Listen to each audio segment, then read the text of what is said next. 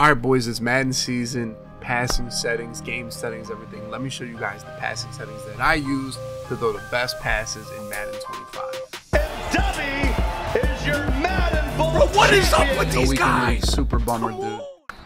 All right, here we go, man. A new year, Madden 25. What are the best settings? What are the best things to use? We just came off of college football that had similar settings, but they also had the new revamped passing.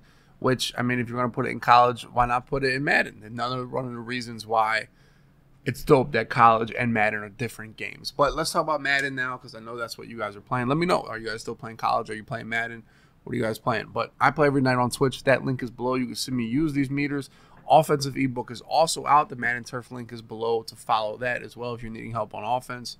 But these are the actual settings that I use on Madden. These are the ones I like. These are the ones I love. First of all, kick meter. One of the most disappointing things in Madden 25 is that they have this the the old kick meter. The best thing, one of the best things about college was it was hard to kick field goals. It was sweaty. That 55 yard field goal was not automatic. Now in Madden, it's as easy as ever. Uh, so really disappointed that they didn't go to this multimeter permanently. And people say you can switch to it, but why would I switch to the harder kick meter? So for me, I think the multimeter should have been standard this year in Madden. So, but I'm gonna stay on classic because it's easy. You're gonna make every field goal easy. But control scheme, I don't know what that is. Mm, okay, that's if you want to press the button twice to pass. You never want to do that. You want to tap, hold to throw a bullet, and let go when you want. You know. And then passing type, we're definitely going to go placement and accuracy. It enables the timing element for perfect accuracy on bullet passes on top of visual targets to control the pass, placement, and power.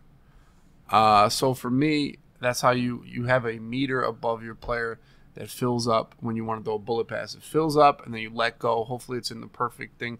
To be honest, I don't even look at the meter when I pass. You know, I don't know about you guys, but I really don't look at the meter. We'll talk about it when we get into the game a little bit.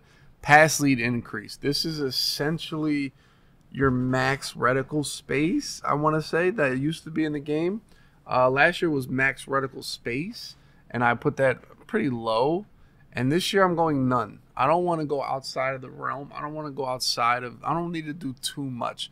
Players are open in this game, and it's my job to design the players to get open. If I have to throw it that obnoxiously far away from defenders or anything, uh, the play's not that good. And if you put this any higher, small, medium, large, anything, you're going to get more overthrows or more missed throws. You might be able to make some ridiculous throws, but in Madden, uh, I want the consistent throws made consistently. All right, because uh, I'm doing a good job of designing plays and calling the right plays to get my players open.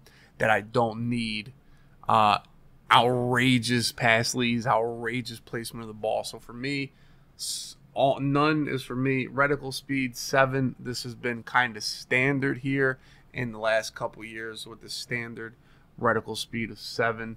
Visibility to me, I mean, I guess I have it on right now. Uh, most of the time, I really don't like it. Hit stick quality feedback, timing feedback. I kind of like this, but it's off right now. I'm disappointed when it says boom tech, boom tech, and we're not getting fumbles. Um, auto flip is just dependent. Ball hawk always on. Heat seeker off. and Just make sure people like make sure user take weird angles. I want to say, look, user controlled defenders are steered towards the ball carrier when attempting to run or dive into them. It just kind of messes up their pursuit. I I don't know. I haven't played with it on in a couple years, so that's off. Defensive player assist never really on. What that is is when you click on somebody, it takes a second for you to like have control of them, so you don't mess them up. But uh, I'm an adult. If I mess them up, it's my fault. I want full control instantly. Yeah, so those are the settings that I'm using, but mostly the, the passing one. Let's take a look at what we can do with that as we're sitting here with Aaron Rodgers, who, without a doubt, is you know the best quarterback in regs. Really, I mean Mahomes and Aaron Rodgers. Let's just do a little bunch because you know bunch drinking the punch. Remember, boys, pro tip: sub out the. I mean, the pass rush in this motor is ridiculous, but if you sub in the 48 overalls, maybe it won't be as bad. Who knows? See, if you look, that's that meter. It fills up.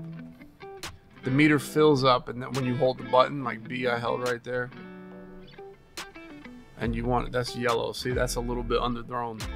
Yellow's not the best.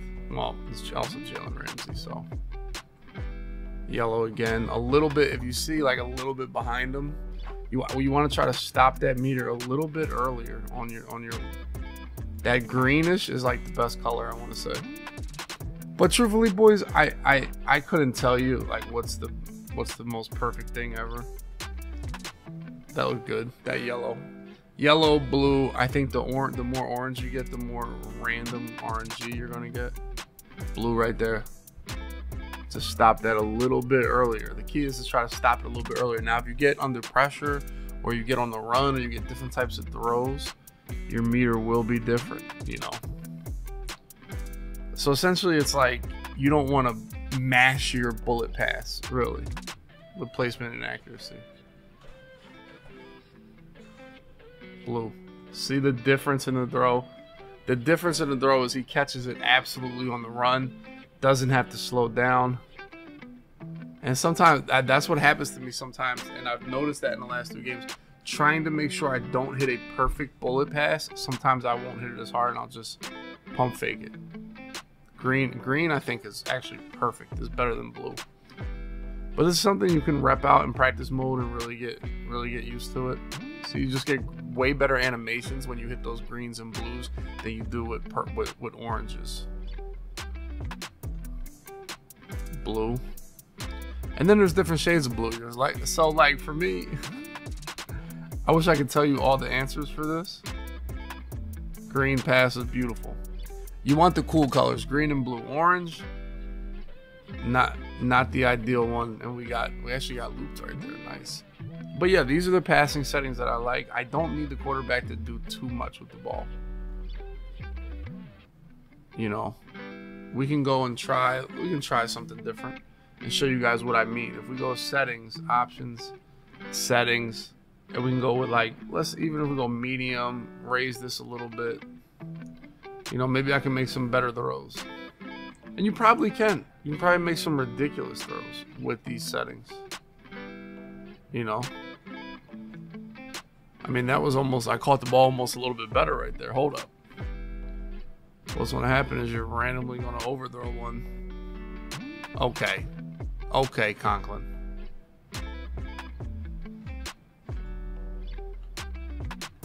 You know? This is medium and 13. And at the end of the day,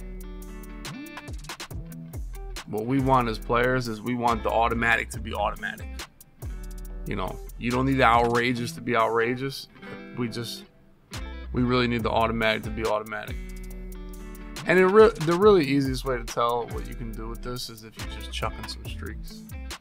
We always like to chuck some streaks, right, boys? Ah, a little bit too much right there. A little cover two action. a little cover. Chucking some. All right, I'm over it already. I'm over it already. Just trying to get a nice little lob out here. That was honestly nice. I, I actually threw the ball back into the right right there, and it was pretty good for uh, Garrett Wilson right there. You can feather some balls.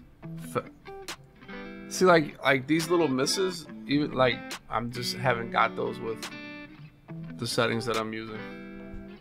You know, so like all this is all I would need to see to say these aren't the settings for me. I mean, you know. And I think you can do enough pass leading with the seven or yeah, with the see that I've had enough. Like I tried to go through the window. I tried to put that through the window, through the window, through the wall. But like, see, I have a little window right here, pass lead right, and it just went too far. So th this is why, and I've done, and I've experimented with this a million different times. This is why I chose what I choose. Boom, seven, none. Now you can mess with small and mess with, but after everything I've done, seven and none, those are the settings for me, boys.